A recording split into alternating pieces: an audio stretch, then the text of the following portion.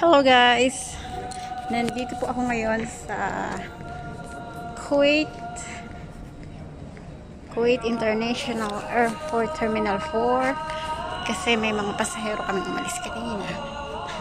So, guys, walang katao-tao.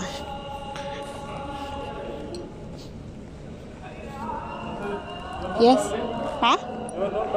No? That's still open? Starbucks there?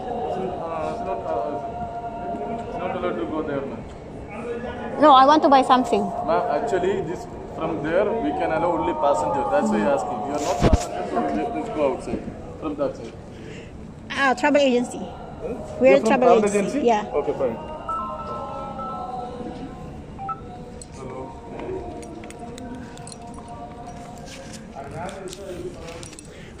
Bawal daw ako dun.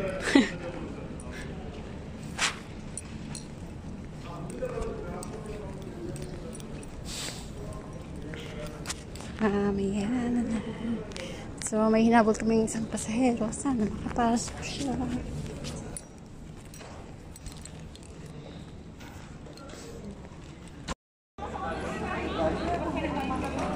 So,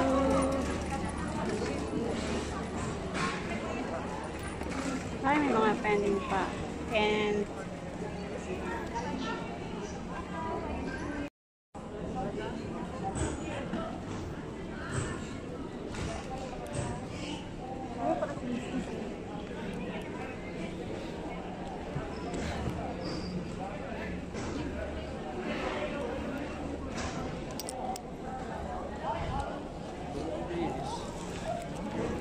Pauwi na sila.